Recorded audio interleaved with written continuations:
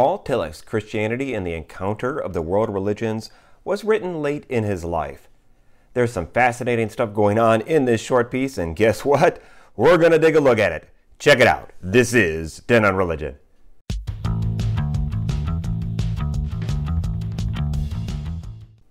Hey peeps, it's Dr. B with 10 on Religion. If you like religion and philosophy content, one thing I really need you to do is to smash that sub button because it really helps out the channel. The transcript is available at 10onreligion.com and new episodes are posted about every two weeks at noon U.S. Pacific Time, so drop me some views. The 1962 Bampton Lectures at Columbia University in New York City were delivered by Paul Tillich in the fall of 1961 and shortly thereafter published in 1963 with the title of Christianity and the Encounter of World Religions. The four lectures represent the four chapters in the book. For those of you who aren't that familiar with Paul Tillich, he was a philosopher theologian who taught in Germany and fled in 1933. He taught in a number of universities in the United States, most notably Union Theological Seminary, Harvard Divinity School, and the University of Chicago. He spent eight weeks in Japan in the summer of 1960, and this experience fundamentally changed his views. These lectures are in part an expression and outgrowth of that change. Let's take a look at these four chapters in this book and see what they have to say. Chapter 1 is titled A View of the Present Situation, Religions, Quasi Religions, and Their Encounters. The main idea is that Christianity's basic challenge today is how to encounter what he labels as quasi religions, such as fascism, communism, and liberal humanism, and the secularism they present. He labels them as quasi religions because he thinks there is some level of genuine similarity between them and other things we categorize as religion.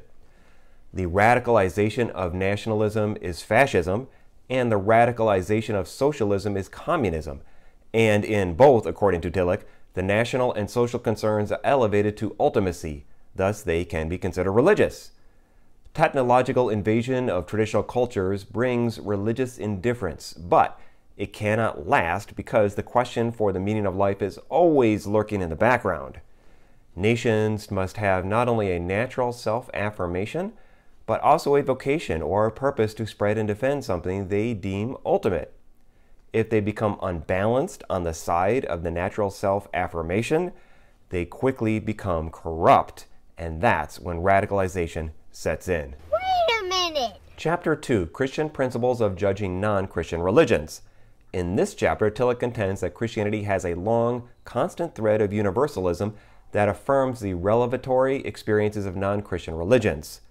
This starts from the Hebrew Bible prophets on through Jesus and is interrupted during the Crusades' opposition to Islam and the rise of anti Jewish impulses, but then is picked up again in the Renaissance and the Enlightenment.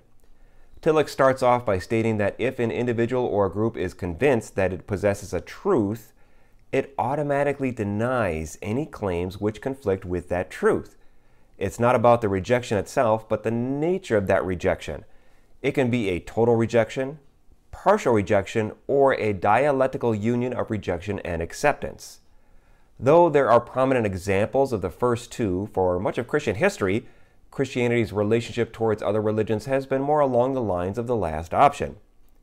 This brings up the question do things like justice, mercy, or love transcend the exclusivity of any particular religion, including Christianity? However, in the medieval era, the wars between Islam and Christendom forced Christianity to become radically exclusive. A byproduct of this new self consciousness included a deepening of the backlash against Judaism as well. By the time of the Renaissance, though, a new trend emerged with Protestant reformers like Erasmus and Zwingli, and continued on into the Enlightenment with figures like Kant. Christianity must be reasonable, and if there is a universal concept of religion, perhaps other traditions share it. But in some times and places, the concrete element rose up against this universal element and labeled other traditions as false religions. For example, Karl Barth's response successfully insulated Christianity from Nazism but created an incredibly narrow view towards encounters with other religions, which became prevalent among many Protestant leaders and groups worldwide. Bruh. On the other side was Troeltsch, whose idea of a cross fertilization with other religions was actually closer to New Testament concepts like the idea of the Logos. With regards to the quasi religions, Protestantism remains open to the danger of nationalism. Hello, recent U.S. history! And is generally less interested in social justice than something like Roman Catholicism. Chapter 3 A Christian Buddhist Conversation. Here, Tillich suggests the best way to compare different religions is by a typological approach that is based on looking closely at each religion's major symbols and how they manifest certain universal polarities instead of the Hegelian antithesis. By doing so, one can reveal the points where they converge and diverge without pushing something into the past when it is dialectically left behind. Even though religions grow and die, the forces which brought them into being are part of the nature of humanity and the self manifestation of the divine. We find this in various mystical and ethical experiences in relation to a telos. What is the aim? In Christianity, Tillich suggests it is the kingdom of God, and in Buddhism, it is nirvana. In one, the ultimate is symbolized in personal categories, and in the other, in transpersonal categories. It seems as if the dialogue may be at an impasse, yet it continues. There have been Christian mystics who talk about being itself and Buddhist spiritual leaders who believe the Buddha spirit can manifest itself with personal character. Perhaps the telos symbols are not necessarily mutually exclusive. Tillich suggests the same can be said for ethical experiences as well. Chapter 4 Christianity Judging Itself in the Light of Its Encounter. In this final chapter, Tillich suggests that each encounter with another religion involves Christianity judging itself. The criteria for such judgment stem from the appearance and reception of Jesus of Nazareth as the Christ, a symbol which stands for the decisive self manifestation in human history of the source and aim of all being. So basically, we judge Christianity in the name of Christianity. Let's explain. Participation in the past isn't based on hyper accurate historical knowledge, but rather on the ability of one to be grasped by the spiritual power of historical events. In Christianity, the particular was crucified for the sake of the universal. Jesus wasn't crucified for the people only of his time, but of all time.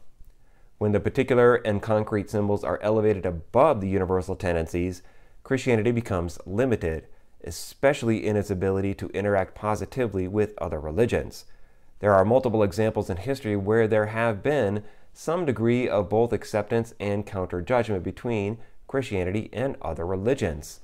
It's not about an attempt to mutually convert one another, but a mutual asking of what is it that truly makes religious experiences attractive. Dialogue is the key to breaking through religious particularity and reaching religious freedom. In this way, one can then see the spiritual presence through other expressions of ultimacy. So, what do you think about Tillich's four lectures? Can one break through religious particularity through dialogue? Leave a comment below and let me know what you think. Until next time, stay curious. If you enjoyed this, support the channel in the link below. Please like and share this video and subscribe to the channel. This is 10 on Religion.